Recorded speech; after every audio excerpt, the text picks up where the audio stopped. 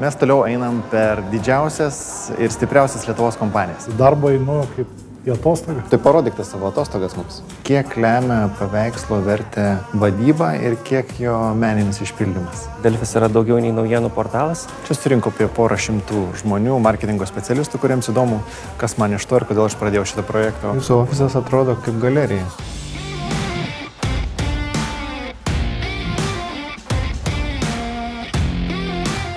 Spėkit, kokie straipsniai yra skaitomi labiausiai Delfį? Nužudžiau, sudužo, nepavyko. Ar jauti kokią nors trūkumą, kad esi šiauliuose? Aš atvirkščiai jaučiu privalumus.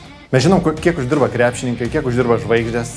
Bet jeigu aš paklausiu, vat, nu, pažiūrėjau, vat, kiek jūs uždirbat, jūs man nepasakysite, ne?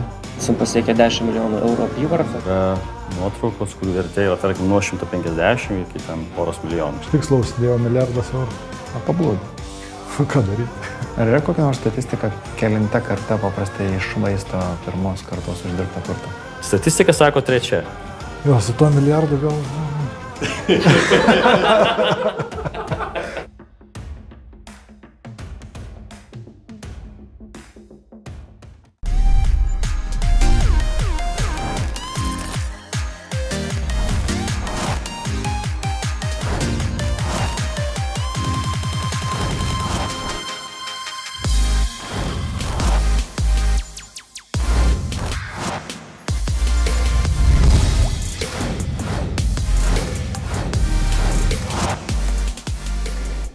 Sveiki, gerbiami sodros klientai.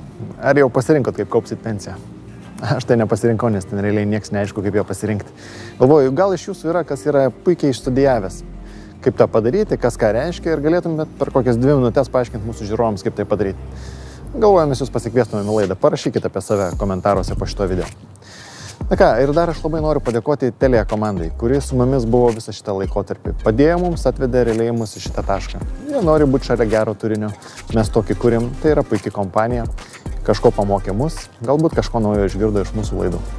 Ačiū Jums labai. Ir realiai dėka ir jų mes turim 15 tūkstančių prenumeratorių šiandien, kurie jau netirtų net į Žalgerio areną. Įsivaizduojat, 15 tūkstančių.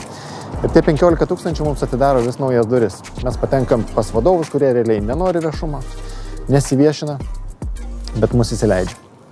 Jie mato šito projekto vertę, kaip ir jūs. Tai yra mūsų 19 laida. Pasižiūrėkit.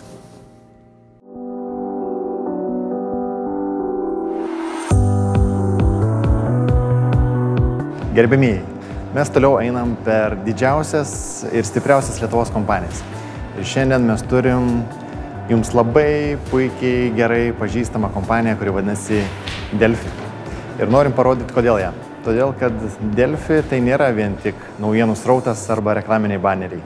Tai yra kur kas, kur kas daugiau. Ir šiandien mes pakalbinsim tos kompanijos generalinį direktorių ir sužinosim, iš ko gyvena Delfis, e, kokius sprendimus jie priima, su kokiam krizėm susiduria ir iš vis, kas slepiasi po šito visų pavadinimų ir kodėl Delfi yra įmonių grupė. Sveikas, Vytautai. Labas rytas, malonu matyti. Labai fainai, kad mes turim pas jūs leidimą atvykti, nes jūs esate nu, didžiausias. Numer, Naujienų numeris vienas Nu, taip, portalas taip, Lietuvoje, ar ne? Taip. Tai labai smagu, kad užėjot pas mus į svečius. Aš tada gal trumpą tokį tripą jums e, parodysiu, kaip mes čia gyvenam, kaip mes čia esame įsikūrę. Dabar va, čia matote, esam pirmam aukšte. E, Tai gal užeikim pradžiai į redakciją, o paskui kilsim per kelis kitus aukštus. Pradedam. Einam. Vyksta filmavimas. Čia mes filmuojame.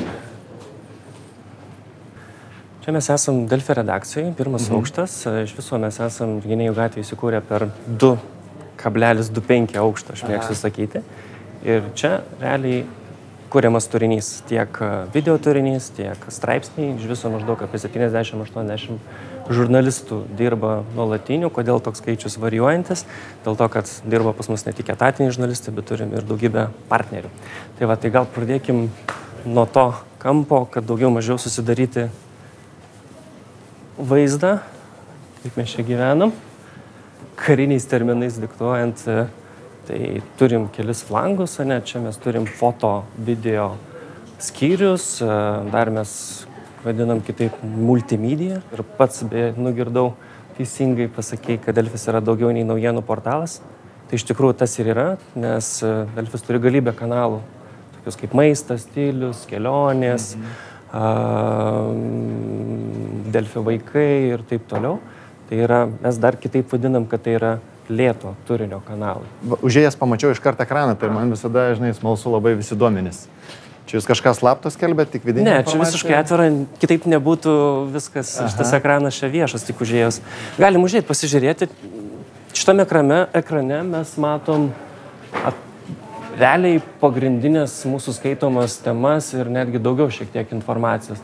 Čia vat yra straipsniai, kurie yra šiuo metu skaitomiausi, kadangi visi puikiai suprantam, kad naujienų portalai uh, matuoja ne tik tai kas pas juos ateina, bet kas, tarkim, labiausiai skaitoma ir socialinis mhm. tinklas. Tai va čia yra, kas yra socialinis tinklas. Nu, va, tarkim, ten skaičius unique users, tai 36 tūkstančiai šiuo metu yra skaitančių. Einam studijos pasižiūrėti? Jo, ir tada aš pabaigsiu gal šiek tiek iš paukščio skrydžio, paprašiau, kaip mes čia esame įsidėstę pirmam aukšte. Tai va čia mes matome Delfi TV studiją. Mhm. Čia kaip ir minėjau, kažkur apie 6, 7, kartais 8 transliacijos būna pabaigiant, kaip čia išsidėsčiusi yra redakcijos struktūra, tai vidurys realiai yra va, tas vadinamasis newsroomas, tai yra kur kūriamas aktualios, verslas, sportas, mhm. pramogos mhm. ir, e, tiksliau, ne pramogos, o veidai, vis dar sunku pačiam kartais. Tai va, tai daugybė to naujienio turinio, tai va tas karštas operatyvus turinys, tai va visas tas vidurinis, flangas, jeigu taip, ir va tas dešininis, tai yra ten jau bazuojasi dienos redaktoriai, vakaro redaktoriai ir pagrindiniai redaktoriai, tai ir vyriausia redaktorė mhm. Rasa Lukaitytė Narauskinė tiek su savo pirmaisiais pavaduotais. Tai, kaip supratot, pirmas aukštas yra naujienos arba dar kitaip verslo terminais kalbant, tai yra ta mūsų B2C strategijos dalis, mhm. nes mes turim tas dvi strategijas - B2B ir B2C. Labai įdomus klausimas. Aha. Delfis nusprendė investuoti, padaryti televizijos studiją. Internetinę. O galės kleisti, kiek pinigų reikėjo įdėti va į šitą kampą? A, nėra čia kažkas labai tokio ypatingo. Taip, kameros turbūt yra pagrindinės, pagrindinės investicijos, tai čia taip skaičiuočiau kokius 20-25 tūkstančius eurų bendrai su viskuo, čia mhm. visokiais, garso, garso, garso izoliavimo prietaisai. Tai šitam kampe 100 tūkstančių eurų tikrai yra, ne? Paimti studiją visą ir visą. Jo, teisingai, nes labai teisinga tavo pastaba, nes ten turbūt širdis yra tavo studijos, jeigu taip žiūrėti, čia yra tas tik tai, kas e, matoma auditorijai, bet ten yra visi tie pultai ir įgarsinimo pats kambarys dar atskiras yra, nu kur nes kaip ir minėjau, turim ir tos pačius podcastus, su kuriais irgi pradedam vis daugiau ir daugiau dirbti, tai kažkur reikia garsinti. Mhm. Tai jeigu bendrai, jo, aš gal susimažinau turbūt būtų gerokai daugiau. Ir dar toks klausimas. Įdedat va 100 tūkstančių eurų ir tokį kampą, ar ne? Ir kviečiat žinomiausius žurnalistus, nu, jums pavyko nenupirkti žvaigždžių, nu, aš nu, turim nupirkti, pasikviesti, ne? Ryškiausių. Taip. Ar tokia laida, pavyzdžiui, kaip dėmesio centre, finansiškai atsiperka ar ne? Taip tiesiogiai, jeigu atvirai pasakyti, tai ne, tai yra investicija turbūt iš kitos pusės. Ne? Toks socialinis kapitalas.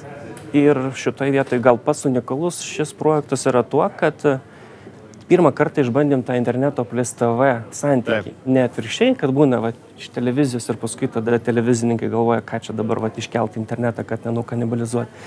Tai šitoje vietoje mes ten turim su viena LNK grupe nesutarimą, kad visas transliacijas, kurios vyksta čia, pusė aštuonių, jos išeina į InfoTV eterį, ten daug kartų išeina mhm. ir geriausi momentai LNK vakaro žinios. Ar gali paprognozuoti, ar ne mūsų ateitį, mes, va, kaip verslo kanalas, kaip galvoji, kiek mes galim surinkti prenumeratorių maksimum Lietuvoje? Aš manyčiau, kad jeigu dabar jūs turit, kiek minėjai, 13 tūkstančių. Palei 14 jau beveik. YouTube auditorija, kiek aš girdėjau, yra apie milijonas, 4 milijonas 500 tūkstančių, bent. Čia Lietuvoje, ne? Ja, čia lietuviška. Jo, tai manau, kad jūs drąsiai galite pretenduoti kokius 2-4 procentus e, auditorijos. Tai ką, redakcijai apsilankėm, dabar keliaujam į septintą aukštą. Tai va, įdomu. Dabar užkylam į septintą aukštą ir pradedam turbūt nuo tos pusės. Aš dažniausiai bazuojuosi lokio guolyje. Nu tai va, tai čia aš daugiausia praleidžiu laiko, kai būnu, o kai nebūnu, tai netgi turim rezervacijų sistemą, kur kolegos, jeigu mato, kad aš šiandien esu užsibukinęs, paprastai kalbant, tai jie gali ateiti ir... Tai neturi savo kabineto nu- nuolatinio tokio. Nu, galima sakyti, va, prie šito kampuko prisėdžiu, kai būnu, bet realiai tai stengiuosi, kad čia yra mūsų visų, visų erdvė. Čia dar paminėsiu, kad Delfis turi alio, pro, alio klasifikuotų skelbimų portalą.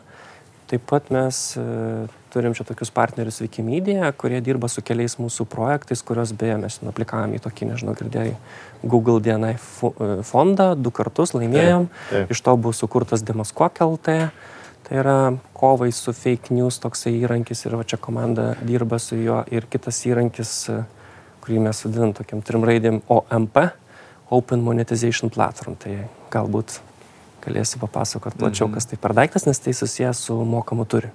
Taip pat mūsų grupė priklauso Net Media, tai didžiausias e, reklamos tinklas Baltijos šalyse. Kas tai yra? Tai yra ir technologinius e, įvairius sprendimus kurianti kompanija, kas liečia efektyvesnį reklamos ir planavimą ir atstovauja maždaug keli, keli šimtus lietuviškų puslapių.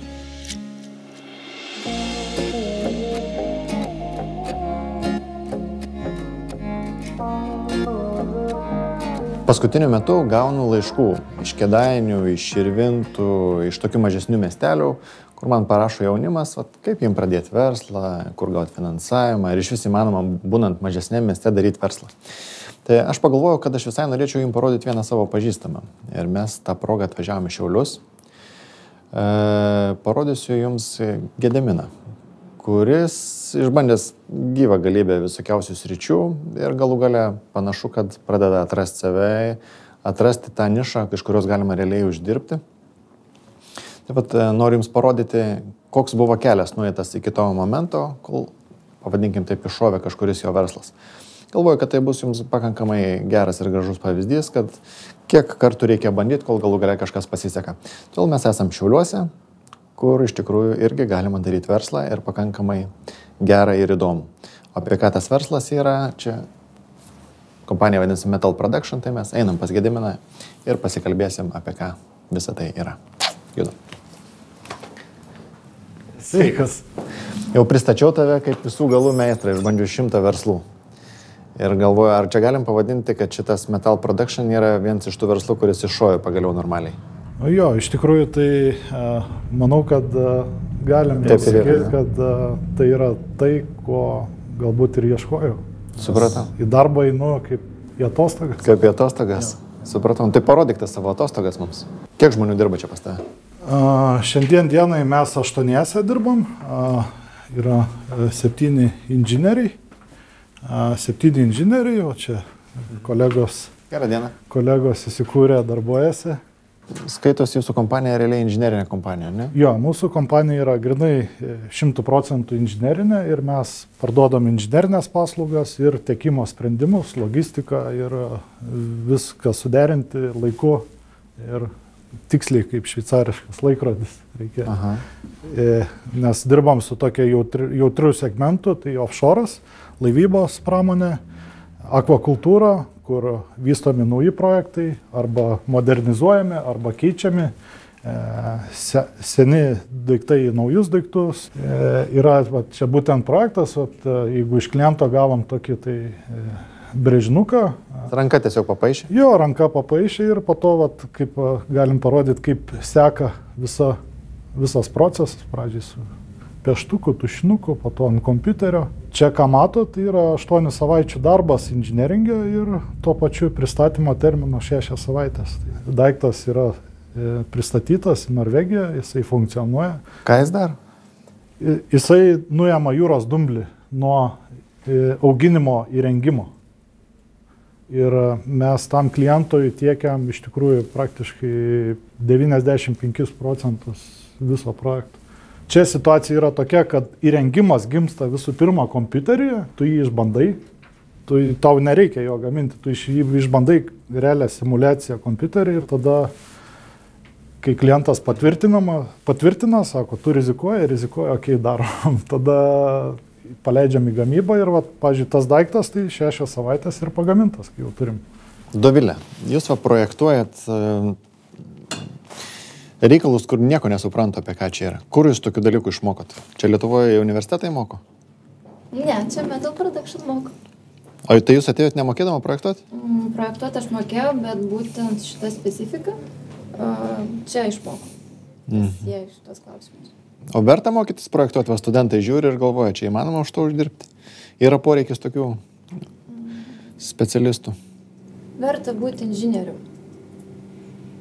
Galėčiau tai pasakyti. Mhm. Supratau, tai va studentai, verta būti inžinieriumi, mokykitės. Nu, tavo sritis, žinai, va, taip klausantis atrodo pakankamai sudėtinga. Nu, ne aš sugalvojęs, e, dabar staiga sugalvojau, kad noriu ten laivui katilą kokį nors ar dumblių surinkimo mašiną ar dar kažkokį tokį dalyką padaryti, nu, aš nesivaizduoju, nuo ko pradėti. Susirasti projektuotojų. Visų, visų pirma, mes ateinam kaip komanda, visų pirma, klientas turi mumis pasitikėti, mes duodam pasiūlymą pradžiai, tarkim, mėnesiui, išbandot mus, jeigu tenkino rezultatas per mėnesį, tęsiam sutartį. Sėdėva jaunimas ir dabar, žinai, galvoja, aš irgi norėčiau, va, žinai, kažkokią tokią inžinieringą, nedidelį, trijų žmonių kompaniją pasidaryti. E, Labai man gauti pirmą užsakymą. Realiai, realiai bent penkis metus padirbti beveik be atlygio reikia. Čia pagodėjai visus dabar.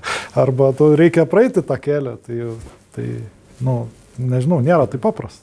Bet ta, tavo atveju gal trup, e, kitaip buvo, ne? Tu turi partnerį šitoje vietoje. Jo, be partnerių būtų daug sudėtingiau ir tas verslas iš tikrųjų neįsisibuotų taip su tokiu pagreičiu, nes mes turim dalį va, didelių užsakymų, kur ateinam pas gamintoją, tai mums automatiškai duris lengviau atsidaro, čia dar ir tokį įrengimą padarykit, ir tokį gal, tada ir terminai, ir kaina gera. Ir... Supratau, tai iš dalies formulė galėtų būti tokia, kad jeigu nori šokti į sudėtingą sritį, reikėtų to pabandyti prisitraukti partnerį, kuris kažką veikia toje srityje, ne? Jo, šitas įdomus projektas, tai garo generatorius naftos perdirbimo laivui, kuris generuoja apie 10 tonų garo per valandą ir paskystina mazutą, kad jisai galėtų tekėti vamžys normaliai. Šiaulių įmonė su septyniais žmonėmis penkių metų patirtim daro tokius dalykus. Jo, šitas projektas buvo konkursuotos trys įmonės Lietuvoje ir viena įmonė laimėjo ir jie atliko e, e, konstrukcijų darbus, plus e, kitos įmonės gamino,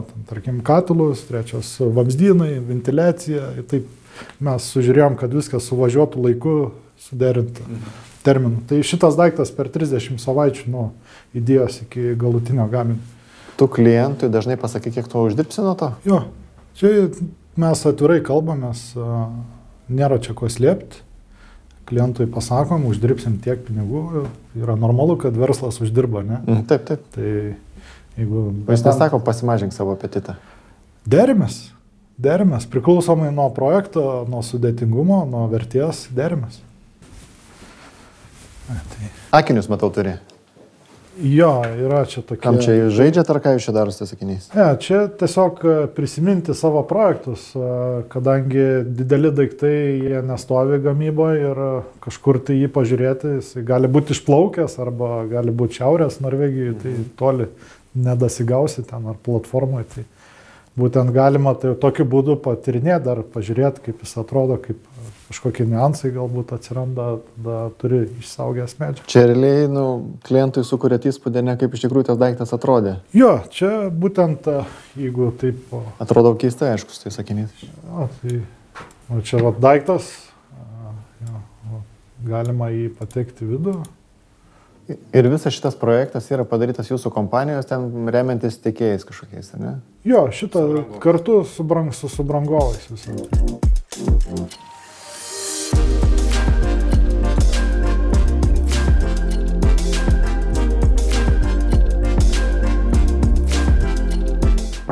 Gerą dieną. Sveiki. Sveikas, yra. Labas. Prasėjau koridorium pas jūs, tai pats ofisas nuteikia tam tikrą nuotaiką, padiktuoja iš karto. Malonu. Tai galvojau mūsų žiūrovų iš karto klausimų, apie ką visą tai bus. Bet gal pradėkime nuo to, jeigu gali parodyti, nes įspūdingi paveikslai, įspūdingas Gerai, ofisas. Rodyti, kaip viskas atrodo ir mes Okay. pasikalbėsim. Gerai? Čia šiaip tai yra Liuben Art Foundation e, dalis kolekcijos mūsų ofise. Ir e, skirtingų labai ir tipo darbai, ir laikotarpių, ir gal net e, skirtingų šalių.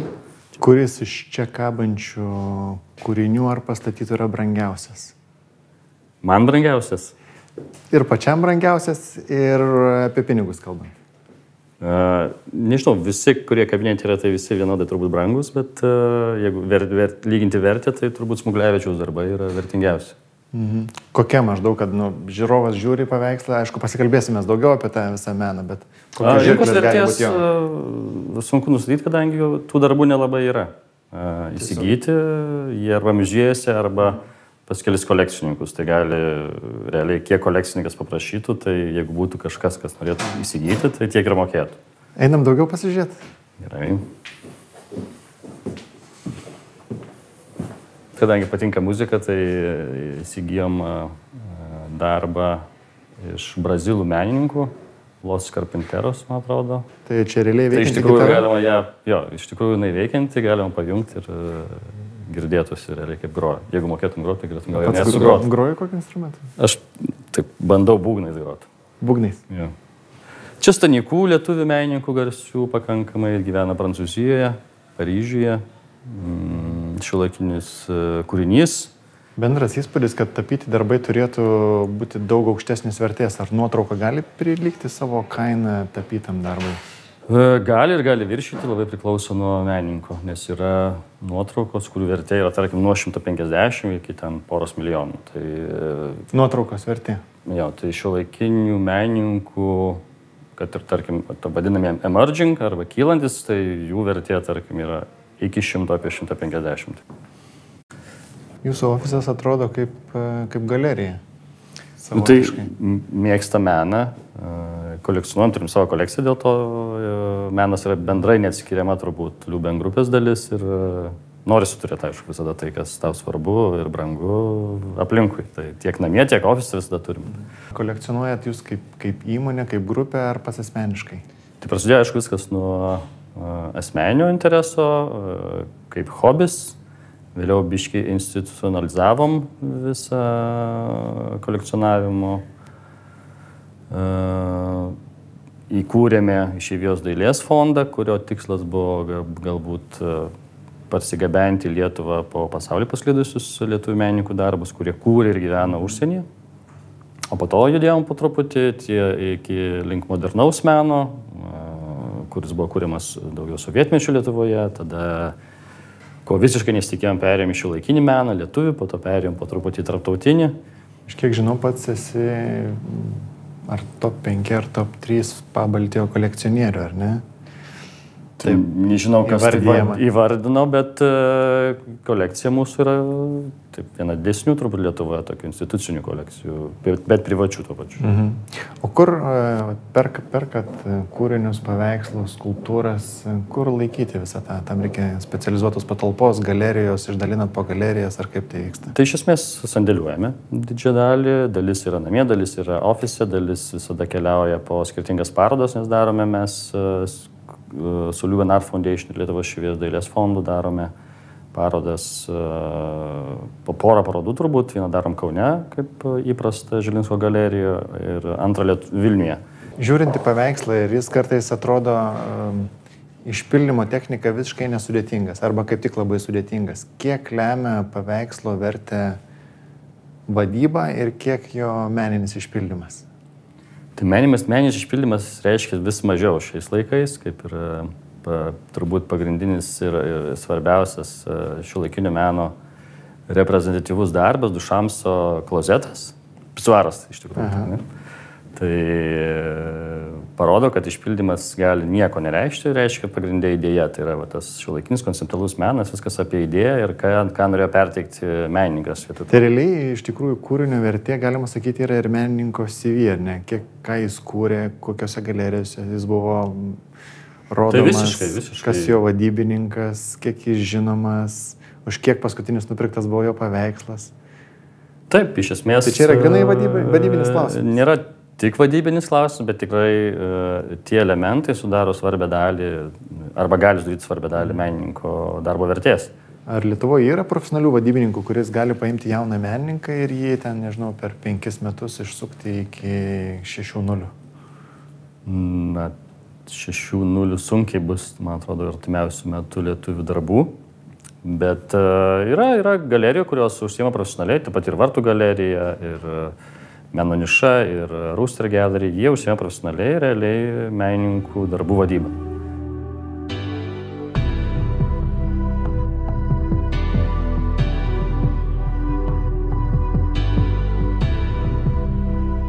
Gerbėmėjai, šiandien mes atvykome į socialinių mokslų kolegiją, kur Lietuvos marketingo asociacija organizuoja renginį, kur netrukus skaitysiu pranešimą tema, kodėl vadovai eina į YouTube. Čia surinko apie porą šimtų žmonių, marketingo specialistų, kuriems įdomu, kas man iš to ir kodėl aš pradėjau šitą projektą. O čia, beje, pirmą kartą yra dalinama mūsų atributika, neustiniai maišiukai, čia mūsų draugai iš Back Factory mums pagamino. Labai ačiū jiems. Na, o jeigu jūs darot kažkokius specializuotus renginius, jūs galite, aš galvoju, mus pasikviesti visai tokį renginį. Ir mes atvažiuosim pas jūs arba sekite mūsų Facebook puslapį, kur mes pranešam apie renginius, kuriuose mes dalyvaujam. Na, aš žygiuoju salę, o jūs žiūrėkit laidą.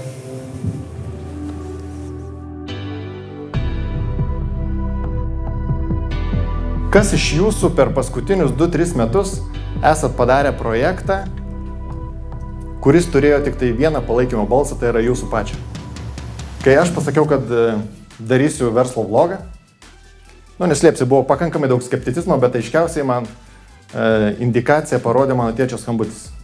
Jis pasižiūrėjo, paskambino ir su tokiu giliu liūdėsiu balse paklausė, sako, tai tu kas dabar dar ir žurnalistas? Aš jums galiu pasakyti, ne, kad šiandien prie projekto, jeigu mes startavom tryse, šiandien prie projekto dirba aštuoni žmonės. Ir supratom, kad šitas projektas yra ne tik dėl mūsų, bet ir, kaip aš sakau, vardantos. Vardantos Lietuvos reiškia neša realią naudą ir motivaciją.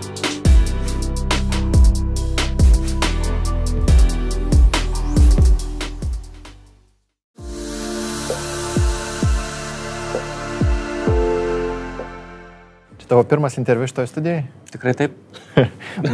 Man labai patinka, mes su TV3 generalinė Laura darėm irgi jo studijoje ir dabar va, pas tave darome. Taip jau būna, su tais, kurie backstage būna dažniausiai, ne? Gerai, Vytautai, tai e, iš tikrųjų, aš paminėjau pačioj pradžioje, kad Delfis tai nėra vien tik tai ba baneriai ir naujienos, ar ne? Delfis tai yra didelė verslo struktūra. Ar gali išskleisti, kokios čia įmonės pas jūs yra, kokios verslo sritis? Gal vat, dar patikslinsiu, dabar nėra tik baneriai. Prieš penkis metus tai kokie 80-90 procentų pajamų tai buvo baneriai. Grįžtant prie to esminio to užduoto klausimo, kokia ta verslo struktūra, tai jo, mes esame mestiško kapitalo bendrovė, Express Group, kuri yra didžiausia žiniasklaidos bendrovė Baltijos šalyse su 1700 žmonių. Lietuvoje, jeigu grinai išryškinti, tai yra UAB Delfi, turim Ednet Media, didžiausią reklamos tinklą Baltijos šalyse. Taip pat turim a, tokią kompaniją, arba tiksliau dalį turim akcijų Video Stars, tai yra turbūt naujiena šitą. Mm, ką, ką daro Video Stars? Video Stars atstovauja apie 120 berots YouTube esančių kanalų, tai yra padeda jiems e, e, monetizuoti, vadinkim, YouTube platformoje uh, turinį video. Įsigijom dar vieną kompaniją, vadinasi UAB Login Conferences. Apie loginą iš karto tada Taip. paklausiu. Perkat login konferenciją. Taip. Ką realiai jūs perkat? Ženklą? Mes perkam ženklą, kuris berots 13 metų jau yra. Mes perkam didžiausią Baltijos šalyse konferencija su berots 4000 e, dalyvių ir 120 pranešėjų. O gali mane pamokinti, perkat loginą, aš suprantu, ne, perkat... E, Investuojam. Investuojat, jo, e, perkat ženklą. Aš suprantu, kaip perki verslą, tai gali įsivertinti ebitas, įsivertinti augimą, tai augimo, tai turtą, dar kažką. Kas, kas yra vertinama perkant va, tokį projektą? Vertinom uh, sinergijas, kokias atlikus, kaip mes galim tą verslą užauginti per artimiausius tris metus. Mhm. Bet tai yra žiūrint ganai kaip į verslo objektą. Nebūtinai. Ta prasme, iš vienos pusės taip tu turi orientuotis ir koncentruotis į ten, kur, kur, kur, kur kas mums padėtų uždirbti. Ne? Iš kitos pusės mes žiūrim, su kuo mes norim Delphi brandą tokį kaip po asocijuoti. Mhm. Loginas paprastai vis tiek yra pagrindinė auditorija 25-35 metai tai tai yra ta auditorija, kurią galbūt šiaip yra sunku pasiekti su pačiu Delfi kaip naujienų portalu. Paslaptis ar ne apyvarta Delfi yra? Ne, ne paslaptis. Kaip čia mes, paskutinius penkis metus e, mes augom vidutiniškai po 13 procentų, dabar esam pasiekę 10 milijonų eurų apyvartą, mūsų EBITDA yra apie 9 procentai vidurkis. A, netgi EBITDA skelbėte, ne? Tai mes esam kotiruojami biržose, skelbiam daugiau turbūt negu gal reikėtų. Prieš tai jūs dar turėjot e, spaudos, ar ne, verslą ir 2017 metais pardavė. Kodėl? Nematėm perspektyvų, matėm priešingai labai didelės perspektyvas interneto versle ir su tuo susijusios rytise ypatingai eventų konferencijų. Tai yra matėm, kad vat, į šitą kryptį norim daugiausiai investuoti. Ir nereikia būtinai vienas, mes puikiai matom, kas vyksta Estijoje, kas vyksta Latvijoje ir Lietuvoje, tai Estijoje dar, dar spauda pakankamai gerai stovi, bet ten irgi tendencijos dėja jos, jos, jos ateina. Su spauda, ypatingai laikraščiais, e, tais e, kasdieniniais, tai aš manau, kad jie, galima sakyti, yra jau dabar mirę. Kokio turinio naujienos šiandien yra pelningiausios? Spėkit, kokie straipsniai yra skaitomi labiausiai Delfijai? Nužudžiau, sudužo, nepavyko, mirė. Tai irgi skaitoma.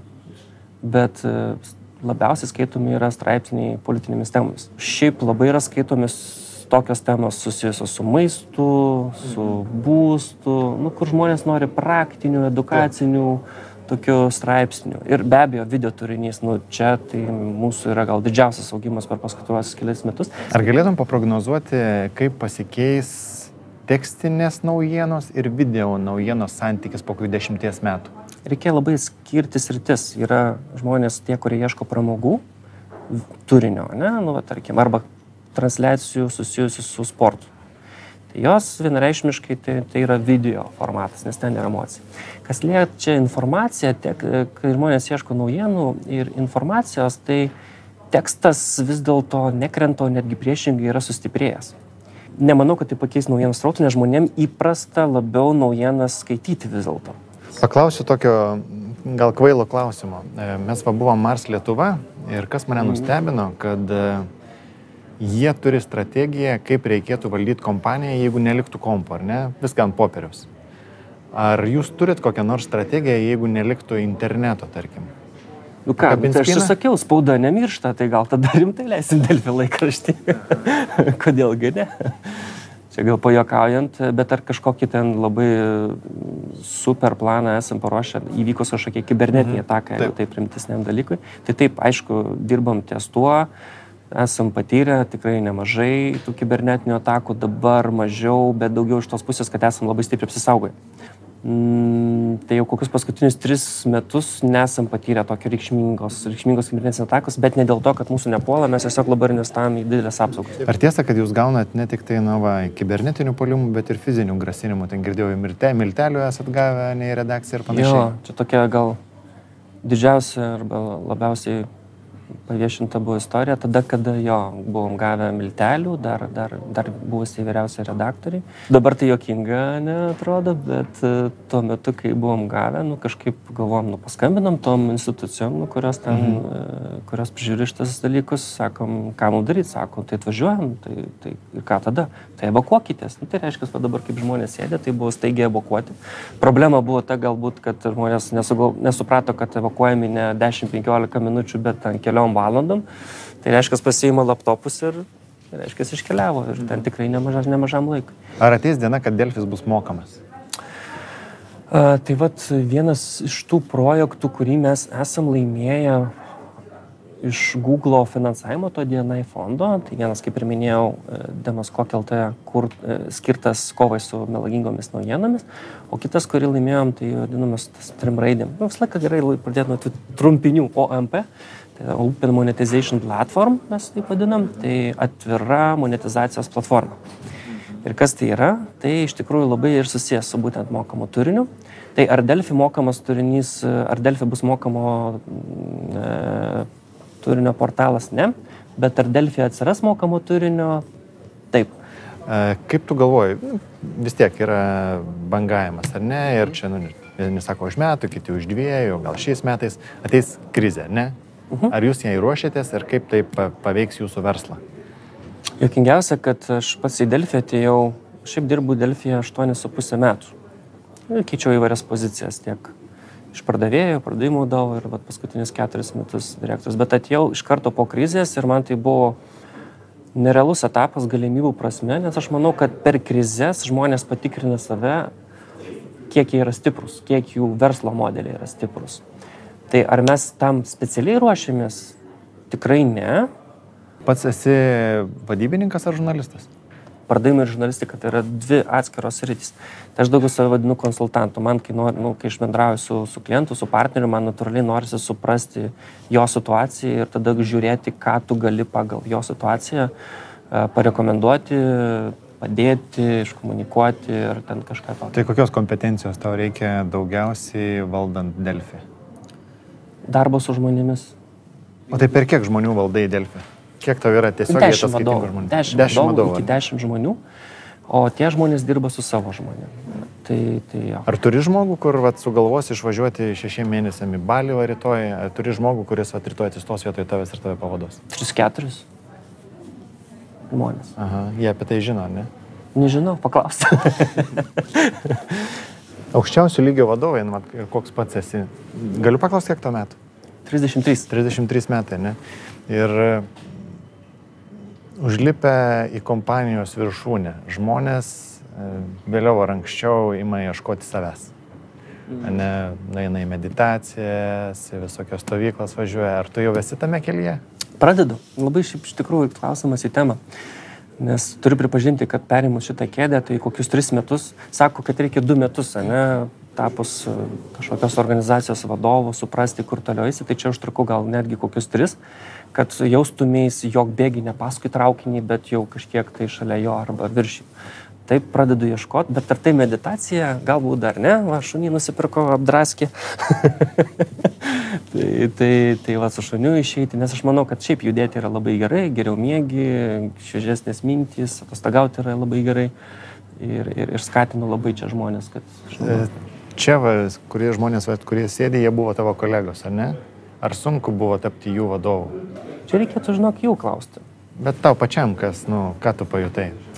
Labai yra gerai, nu, aš kadangi daugiausia bendrauju su tuo artimiausiu ratu, tai labai yra gerai, kad su tai žmonėm tu dirbai ir gal, gal su manim yra vadovo paprasčiau, nes nemanau, kad aš pasikeičiau, būdamas prieš tai ten pardavimų vadovu ir vat, vadovu. Manau, kad iš esmės niekas nepasikeitė. Ir aš tą nuolat nuolat ir komunikuodavau, kad jeigu jūs matysit, kad aš keičiuosi, tai jūs man atvirai ir pasakykit. Ir tą atvirumą, aš žinau, kad čia jokinga, žinau pat kiek aš gaunu kritikos iš savo artimiausio rato. Labai daug. Mūsų žiūrovai prašo, paklauskit, ką vadovai skaito. Kokios paskutinės tavo dvi knygos, tarkim, perskaitytos? Jeigu tvirai, tai aš skaitau daugiausiai internete. Daugiausiai internete. Skaitau. Tikiuosi, ne Delfi. Ne, ne, ne. Tai ir Delfi irgi skaitau, bet uh, skaitau daugiausia uh, įvairius uh, tokius portalus, nu, kaip po ten Marketing Week, Business Week, ten CNN, ar ten būtų ten Digidėjus, nu, daugiau kokios rinkos, o tokias naujienas.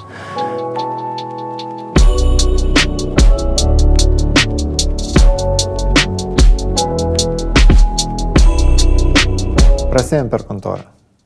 Mm, žiūrovas pasižiūrėjo, išgirdo frazes apie kažkokius sudėtingus gaminius, apie inžinierius ir galvoju, vis tiek liko nesupratęs, kom tu užsiimi ir iš ko tu uždirbi. Gali taip paprastai, kad vat, bet kas suprastų, iš ko jūs uždirbat ir ko užsimat, kame jūsų pridėtinė vertė. Realiai mes esame įmonė, kuri konsultuoja klientą inžineriniai, e, inžineriškai ir konsultuojam pirkimams. Tai esam inžinerinis pirkimų padalinys, kol kontraktas bus įgyvendintas. Tai jeigu klientas turi kažkokį specifinį poreikį atlikti kažkokį su metalu susijusi užsakymą, tai jisai samdo tavo kompaniją, ne? kad suvaldytum tą visą procesą? Jo, dažnai, dažnai, kai e, sudėtingesni projektai reikalauja ne vieno tiekėjo, tada atsiranda logistikos kaštai, logistikos problemos, kur reikia pinigus mokėti, sutartį sudaryti, prižiūrėti tiekėją. Tu esi savotiškas genrangovas statybose, ne? Jo, kaip statybos genrangovas, tik tai čia inžinerinis genrangovas. Kodėl klientas pats tos paslaugos savo nepasidaro? E, visų pirma, mes jau turim penkių metų įdirbę, turim daugiau kaip 50 gamyklų Dombazė ir žinom, kokias jų galimybės. Tai tu klientui taupai laiką, ne, jam nereikia barškytis po pasaulį, ieškoti gamintojo, tu žinai, kur koks gamintojas ką gali padaryti, kokie jo mes- apkrautumai ir panašiai. Mes nuolatos plečiamės, nuolatos didėjom. Šia- Šiandien dieną ir Lenkų yra gamintojų a, duombazė pas mumis ir kontaktai ir ryšiai. Ir einam dar toliau, ateityje planuojam ir Kiniją. Kaip jūs randa klientai? E, Realiai mums marketingas netiek svarbus, kiek yra ryšys su klientu. Nes a, tokie daiktai nepatikimi šiaip savo be rekomendacijų. Tai yra tik per projektus, tik per rekomendacijas. realiai. Tu esi sudėtingai pakankamai, pakankamai verslė, ne, kur klientas ateina per rekomendaciją. Bet kada tu startavai, tu neturėjai tos rekomendacijos. Kaip tu gavai pirmus klientus? Realiai pirmas klientas tai buvo mūsų partneris. Galbūt pradžiai jie tikrino mumis, kaip mes dirbam. Partneris tai turi omenyje akcininkas. tavo. Akcininkas per ryšį irgi. Taip atsirado gamintojas, kuriam tuo metu reikėjo žudbūt susimažinti e, savikainą produktų arba praplėsti gamybą outsourcinant arba užsakant pas kitus gamintojus. Jie to niekada nėra darę, nėra outsourcinę. Mhm. Jam buvo didelis iššūkis ir pradėjom bendradarbiauti, pradėjom važinėti po gamyklas įvairias, klausinėti kainos, dėrėtis ir taip pradžiai vienas projektas, po to du projektai, po to keturi projektai. Tai atėjo Gediminas pas Norvegą ir sako, aš tau surinksiu, aš pautsorsinsiu už tave. Taip. Ne, tai paprastai nebuvo. tai paprastai. Visų pirma, reikėjo įrodyti, kad, kad iš tiesų yra gera kaina ir galima pasiekti gerą kokybę. Po truputį pradedu suprasti, ne, kom tu užsimi. Dabar galvoju, kad, kad ir kitoje srityje pakartoti va, tavo verslo modelį, man matyt reikia ne tik tai tam tikrų žinių, bet susirasti partnerį, ne? Kas atsitiko tavo atveju? Jo, tai part, partneris tai davė tokį didelį stabilumą iš karto pradėti ir, aišku, visų pirma, susidarėjom ilgalaikį, ilgalaikį susitarimą. Tu vienas pradžiai buvai. Jo, aš buvau pradžiai vienas. Susirandi Norvegą partnerį, liktai gauni pirmus užsakymus iš jo, ne kažkokį tai stabilumą. Aš ateidamas čia vadžiūrovai pasakiau, kad Gediminas yra nuveikęs daug įdomių verslų. Vat, nu, kiek aš atsimenu, ir granulės, ir mėsa, ir čipsai, ir visokių dalykų.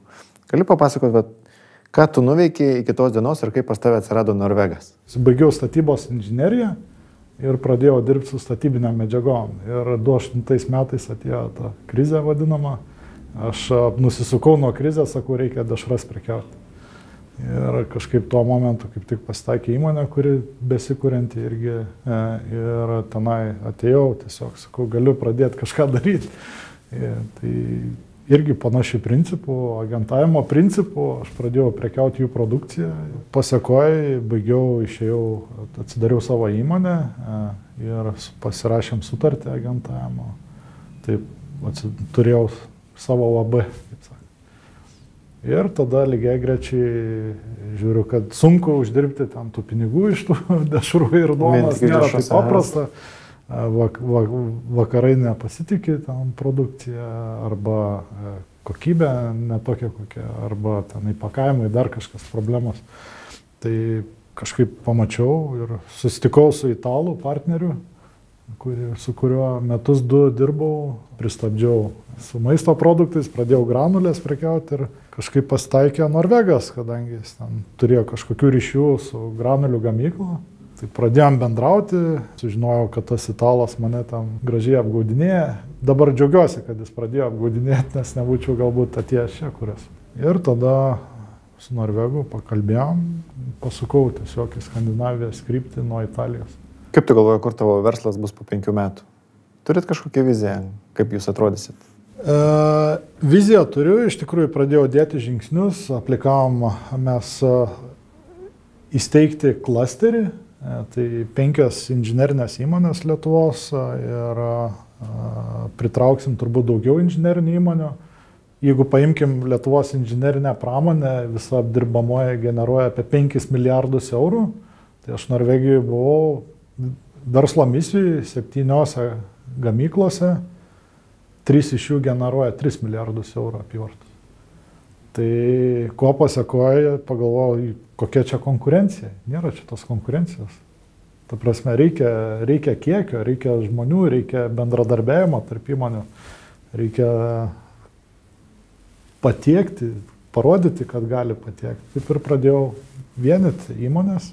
Tai tavo mintis kokia yra, kad su, sujungti vietoje va, tavo septynių inžinierių, turėti šimtą inžinierių ir paimti milijardinį projektą? E, kažkas panašaus, bet e, dar aš nemanau, kad šimtas yra pakankamai, nes at, viena iš tų įmonių, kuri generuoja milijardą, jie turi 11 tūkstančių inžinierių. Ir dar vieną projektą, kurį dabar noriu įgyvendinti, tai yra agentų tinklą. Užsibrėžiau savo tikslą surinkti 50 agentų, kurie norėtų atstovauti. Tai čia kalba eina ne tik apie metal production, apie, apie viską? Ką tas agentų tinklas darys ir kokias žinias jis turi? Jo, turėti? iš tikrųjų, kalba ne tik apie metal production, tai gali būti įvairūs projektai. Bet čia jūs nespecializuoti bus, jūs bet kokį produktą į bet kurią rinką tikslas įvedinėti. Galbūt labiau statybos, offshore'as, akvakultūra, to, į, tą, į tą sritį, mhm. laivyba, pramonė. Šiaip mūsų kanalą ir, ir pagal laiškus ir pagal ana- analitiką mes matom, kad pakankamai nemažai žiūri e, emigrantų. Kas iš- išvažiavę iš Lietuvos, gyvena ten Norvegijoje, Suomijoje, Austrijoje, Australijoje.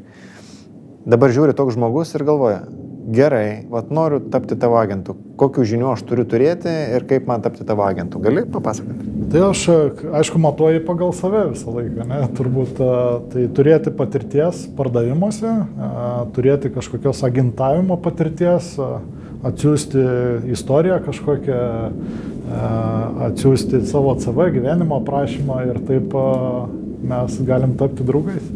Apie darbuotojus dar noriu pasiklausti. Taip. Tu dirbi šiauliuose ir nepabėgi iš tų šiaulių. Na, nu, aišku, tave turi šeimą, čia įleidai šaknis ir visą kitą. Ar jauti kokią nors trūkumą, kad tu esi šiauliuose? Aš atvirkščiai jaučiu privalumus. Labai patogių logistikos atžvilgių. Mhm. Ir nekilnojamo turto kaina ne, nebrangi. Kviečiu iš Vilniaus atvažiuoti, pirkit, gyvenkit, džiaukitės gyvenimu. O kaip su darbuotojais? Tau reikia pakankamai aukštos kvalifikacijos žmonių. Turiu darbuotoją iš Vilniaus, kuris važinėja.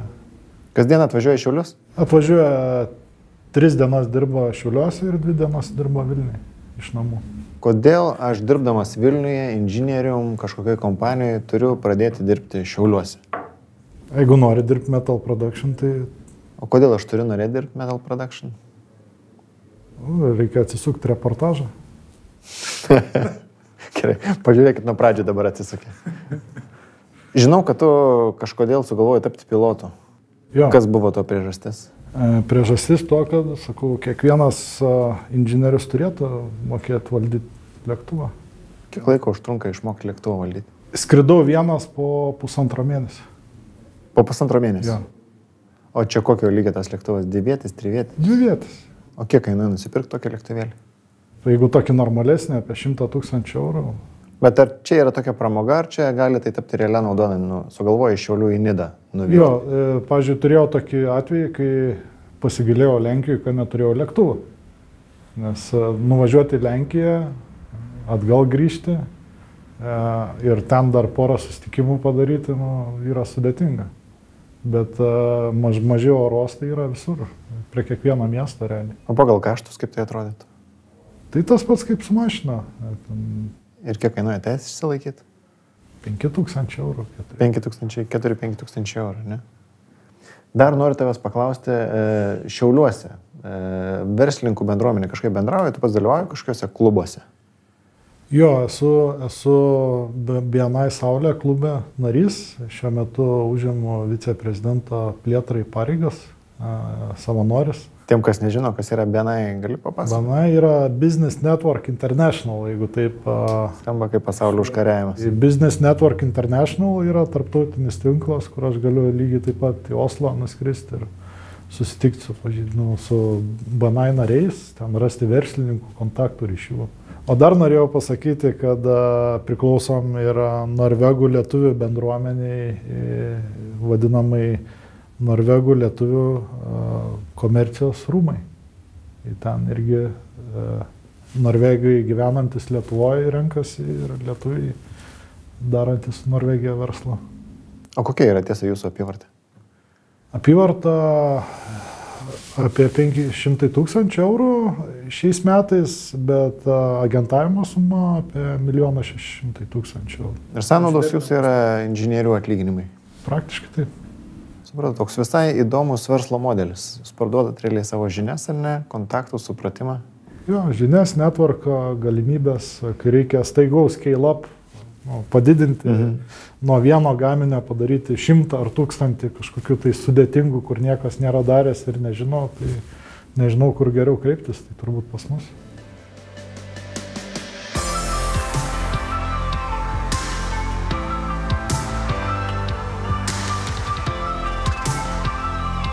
Pasivaikščiojom po ofisą. Tikrai įspūdingas ofisas. Aš galvoju, ar kompanija, kuri turi tokį ofisą, kuri kabina meno kūrinius, ar jai svarbus yra įvaizdis? Tai be jokios abejonės, kad aišku, kad svarbus. Bet tai turbūt visiems profesionalių paslaugų teikėjim ar bet, bet kokias paslaugas teikiantiem, matyti, įvaizdis yra didelė dalis. Bet jūsų įvaizdis nėra viešai kuriamas, jūsų įvaizdis yra toks lokalus, ar ne, tam žmogui, kuris jau užėjo pas jūs. Pagrindė tai, bet, uh, tarkim, su meno kolekcija pasiekėm turbūt ir tą ne mūsų tikslinį klientą kaip uh, klientą, bet uh, ir šiaip visuomenės didelę dalį, kuri domisi menu. Tai, tai dalinai kolekcionavimo ir viso meno šita linija jums yra kaip marketingo įrankis, ar ne? Jūsų? Iš dalies išnaudojam kaip marketingo įrankį, bet tai nėra uh, sukurtas tam, kad jį panaudot marketingui, bet daugiau, kad kaip pasiekmė realiai galim jį išnaudoti taip pat ir marketingui. Tai kuom iš tikrųjų užsima Liauben Group ir iš ko gyvena, iš ko uždirba? Tai Liuben grupė yra realiai kompleksinių paslaugų teikėja šiai dienai. Mes pradėjome 2009 metais kaip multifamily office. Tai pagrindinės paslaugos yra turto valdymas, investicijų valdymas. Šiai dienai išaugę esame iki, pradėjom tuo metu gal keturi žmonės, šiai dienai išaugę į apie šimtą žmonių. Teikiamos turto valdymo paslaugos, tarkim teisės, mokestinės, investicijų valdymas. Uh, verslo konsultacijų paslaugas. Tai dalis paslaugų yra skirta verslui, dalis yra paslaugų skirta individualiem klientam. Kai sakai žodį konsultacija, kas tai yra? Jūs e, patarėt, kur investuoti, ar kur kaip tik neinvestuoti, ar kaip valdyti verslą, apie ką žodis konsultacija jūsų verslė yra? Konsultacija tai yra patarimas realiai klientui, nesvarbu kokiu klausimu. Tai gali būti tiek turto valdymo klausimas, tiek gali būti specifinis teisinis klausimas ar mokestinis klausimas. O taip pat turim vat, strategy labsus, kurie konsultuoja būtent e, strateginiais verslo klausimais. Tai yra padeda, padeda klientam e, nusibriežti tiek verslo strategiją, tiek jie gali padėti įgyvendinti ir panašiai. Paminėjai e, tokį nelabai girdėtą žodį šeimos biuras. Ką tai reiškia? Šeimos būras tai nėra, nėra naujas darinys, e, jisai turbūt pagrindiniai atsirado ir pirmieji tai JAV, turbūt Rockefellerių šeimos buvo biuras. Tai realiai, realiai tai yra biuras besirūpinantis šeimos individualiais turto interesais, taip pavadinkim. Tai gali būti tiek investicijų valdymas, tiek gali būti bet kurio kito turto valdymas. Realiai jūs dirbat su turtingom šeimom. Valdote turtingų šeimų pinigus. Dalis paslaugų yra susijęs su to taip. Kokiu būdu galima pradėti teikti paslaugas, kaip su tai žmonėms susipažinti, kaip prie jų prieiti, kaip gauti jų pasitikėjimą. Nuo ko prasidėjo pačio verslas ir kaip tu į tai atėjai? E, nėra lengva, ar ne, kaip uh, dirbti su, su, su, su turtingom šeimom, bet uh, daugiausia ne tai, kad dirbti sunku įgyti pasitikėjimą ir turbūt gauti pirmą kontraktą yra sudėtingiausia. Pradėjome devintais metais ir mm, ta, ta, ta koncentracija nebuvo gal tiek stipriai lietuvius, bet uh, man iš praėjusio verslo turėjom jau dalį klientų, kuriem reikėjo. Pirmieji kontaktai, referencijos atsirado, kai pačioj pradžioje dirbau Sebankė, tai ten irgi buvau atsakingas už konsultacijas e, klientams susijusias su būtent irgi turto struktūrizavimu ir valdymu. O kodėl šeima pasirenka ateiti pas jūs, o neįti, nežinau, į banką, žinoma, kokį nors? Aš nekalbu apie ten skandinavų bankus, ar ne? Nu, pas mus turbūt yra dėl to, kad mes galim pateikti būtent tą kompleksinį sprendimą įvairių, įvairių problemų sprendimų. Tiek e, tai gali būti susijęs su investicijų valdymu ar turto valdymu, bet tuo pačiu galėtų būti susiję ir su kitais klausimais, kurie gali būti aktualūs tam klientui. Nuo kokios sumos e, aš jums būčiau įdomus kaip klientas? Kiek aš turėčiau sunešti pinigų, kad jūs sakytumėte, taip, yra prasmės jau su mumis dirbti ir mes žinom, ką nuveikti? Tai galbūt vertinam ne tik e, pinigų kiekį, kurį kaip klientas turėtum ir su kuriuo mes galėtumėm dirbti, bet ir e, turbūt potencialą visom kitom paslaugom. Gali būti, tarkim, ir 3 milijonai. Tar... Kokių keiščiausių ar įdomiausių prašymų esate turėję iš savo klientų? Nes, nu, nežinau, nupirkit man Bentley rytoj. Yra buvę prašymų suorganizuoti gimtadienį, pakviesti tam tikras grupės, e, surasti vietą, kur tai daryti ir panašiai. Mhm. Nu, yra A, tokių tai... įdomesnių prašymų, kurie galbūt nesisėja būtent su tom profesionaliom paslaugom. Kaip tai atrodo, jeigu vat, klientas paprašė, nupirkit man lėktuvą, jūs turit savo komandoje žmogų, kuris išmano, kaip pirkti lėktuvus? E, tai va šituo konkrečiu atveju tai turime e, šalia investiciją, kuri užsiema būtent privačiais lėktuvais, bet uh, iš esmės, jeigu neturėtumėm, tai ieškotumėm profesionalą, kuris tai galėtų padaryti už mus. Jeigu neklystu, pagal Euromoney, man atrodo, tyrimą, ja. jūs esate geriausiai vertinama konsultacijų kompanija filantropijos klausimais. Turim tokį pripažinimą. Taip. kokiu būdu. Įdomiai skamba. Taip, e, kokiu būdu galima tapti filantropijos konsultantų. Ar tai reiškia, kad pats turi būti filantropas, ar to kažkur tai išmokstama? Taip, daugelį dalykų tu išmoksti per savo praktiką. Tai mes e,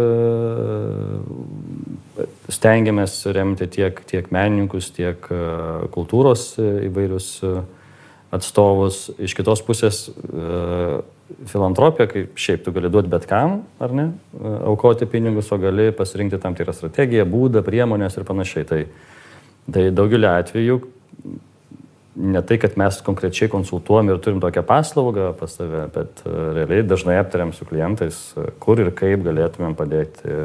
O kaip tai atrodo? Žmogus sako, kad noriu padaryti kažką gero, bet nenoriu, kad tie pinigai tiesiog būtų kažkam tai atiduoti. Tai nagrinėjimės, tarkim, yra įvairių fondų, kurie užsiema konkrečia labdara, kaip pavyzdžiui, Kaukieno fondas e, sergantiem vaikam ir tada žiūri ir analizuoja turbūt, kiek profesionaliai tai dara darom ir kur iš tikrųjų tie pinigai nukeliauja. Nes svarbu, kad tie pinigai ir galimybės pasiektų savo tikslą. Čia turbūt svarbiausias dalykas. Tai tuos dalykus mes su klientais galime aptarti padaryti kažkokią tai analizę ir jam pateikti tam tikras išvadas. Jūs e, gyvenat iš kažkokio tai abonentinio mokesčio, iš sėkmės mokesčio, kur yra jūsų uždarbis, kurioje vietoje? Tai kainodara mūsų yra skirtinga, tai yra ir valandinis įkainis, ir sėkmės mokesčiai gali būti, kai daromas, pavyzdžiui, capital raisingo paslauga, a, a, gali būti kažkoks netgi turbūt sutartas metinis mokestis, abonentinis ir panašiai. Pas jūs daug žinių yra sukaupta apie meną. Ar lygiai taip pat jūs konsultuojat ir savo klientus investicijų į meną klausimus? Patart tikrai galime, neturim tokios vėlgi išskirtinės paslaugos kaip konsultacijos investicijos į meną, bet turim kuratorius arba, arba žmonės, kurie dirba su menu ir tikrai gali profesionaliai pakonsultuoti klientą dėl specifinių investicijų į meną. Šiaip verta skirti laiką gilintis į meno kolekcionavimą kaip į verslo šaltinį, kaip iš to pragyventi? Mano galva ne. Kad jeigu tai visiškai koncentruotis į tai, tai turbūt ne, bet vėl jeigu noras toks yra, tikrai irgi galima tai daryti, vėlgi, bet tai yra galerijų darbas, realiai. Tai yra žmonės, kurie dirba kiekvieną dieną su menu. Jie žino, kaip padaryti, kaip išpromotinti menininką, kaip uh, uždirbti pinigus iš to. Aš įsivaizduoju, kad e, jums, nu, be to, kad labai svarbu įvaizdis yra, ar jūs atsirenkat e, klientus? Norint dirbti su, su, su, su turbūt e, geros reputacijos klientais, tu negali dirbti su blogos reputacijos, nes tuo pačiu prarasi geros reputacijos klientus. Tai ta filtracija yra, ypatingai dirbant su turto e, valdymo paslaugom, netgi su, su patikėtiniu paslaugom, O kokie įrankiai yra, nes negali žinoti, atvažiuoja žmogus, nežinau, iš kur nors iš Meksikos su daug pinigų. Pas mus net važiuoja, bet uh, tam visada yra tam tikros taisyklės. Tai yra pažink savo kliento taisyklės, uh, kur tu privalai paklausti tam tikrus klausimus ir užtikrinti, kad tie atsakymai būtų teisingi ir pasitikrinti turto, šil, turto kilmę, uh, kaip, tos, kaip tie, tas turtas buvo uždirbtas, iš kokių šaltinių jisai buvo uždirbtas. Yra tikslinių teritorijų sąrašas, kuris yra iškart rizikingas, yra tam tikros valstybės, kurios e, galbūt nėra įrašytos įstatymą kažkam norminiam akte, kad jos yra rizikingos, bet jos yra rizikingos. Tos taisyklės ir, ir būdai yra pakankamai standartizuoti šiai dienai ir visas pasaulis eina į skaidrumą. Žinau, kad jūs e, netrukus organizuojat konferenciją ne, apie šeimos turto valdymą ar tiesiog turto valdymą. Mes darome jau trečius metus konferenciją skirtą uh, realiai verslininkam, tai yra Wealth 360 Ir daugiau šiai dienai diskutuojame, jau trečius metus diskutuojame apie tai, kaip e, sėkmingai, tinkamai ir gerai perleisti turtą uh, kitai kartai. Ar yra kokia nors statistika, kelinta karta paprastai išvaisto pirmos kartos uždirbtą turtą? Statistika sako trečia. Kiek tome teisybės, man sunku pasakyti. Pabaigai mes turim savo tradicinę rubriką, kuri vadinasi Blitz klausimynas. Blitz klausimynas. Blitz klausimynas.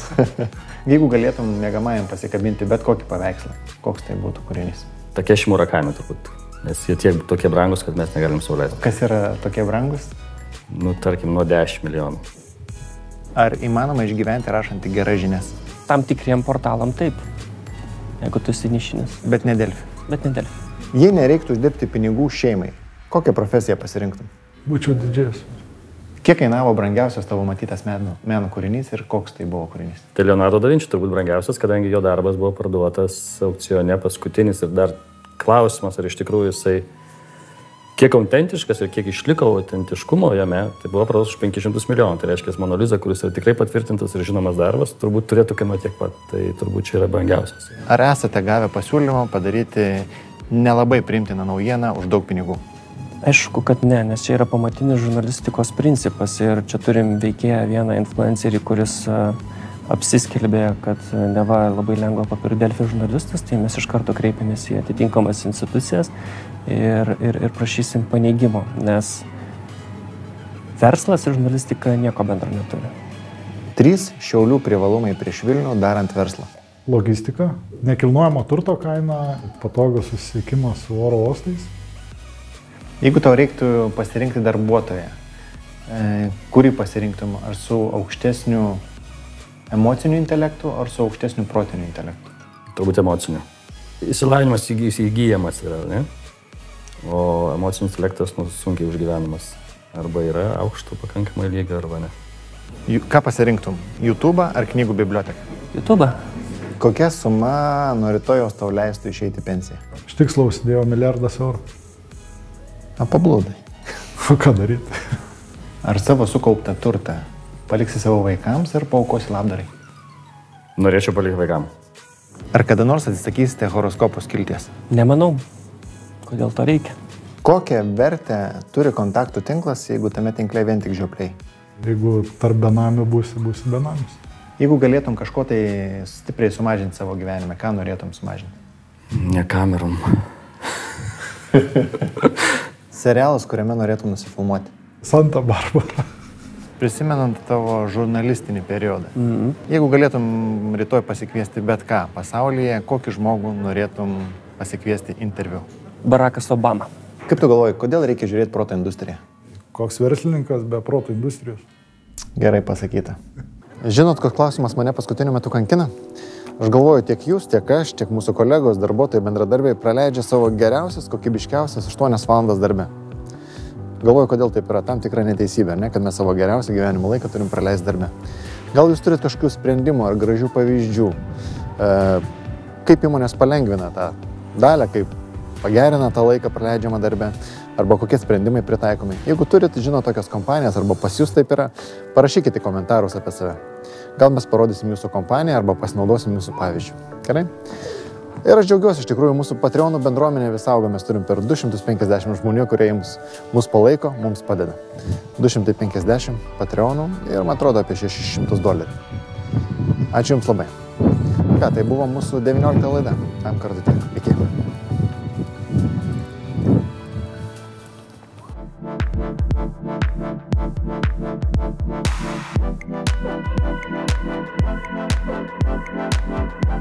thank